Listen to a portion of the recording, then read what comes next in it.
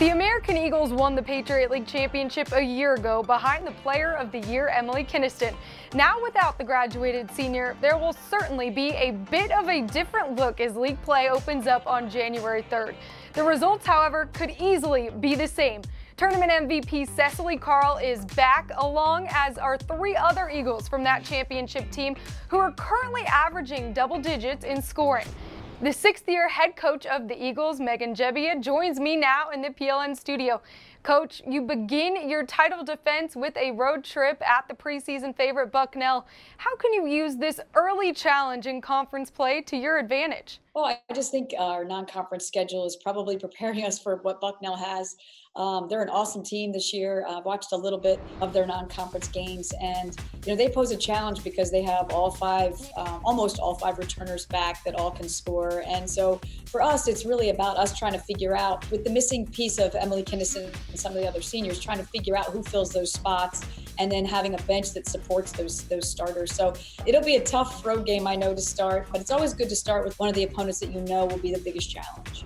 One of the standouts in non-league play was junior guard Katie Moretti. Through nine starts, she's your leading scorer with 13.9 points after averaging 5.5 points last season.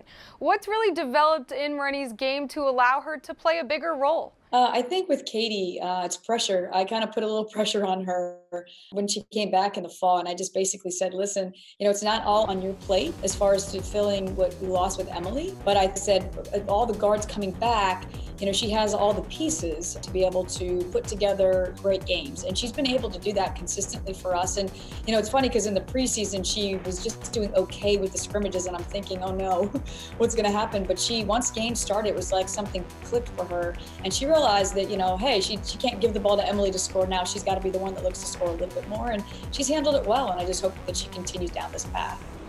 One of those really big scorers so far for you this season, senior guard Alina Koskimies has really gotten a lot stronger from beyond the arc throughout her career. She's hitting 45.9% of her long-range shots nine games in. How does her range open your offense to get senior forward Cecily Carl going down low? Yeah, it's kind of interesting because Alina this year, we kind of had to change positions for her. So she's been playing guard, and she is a guard. Let me just start by saying that.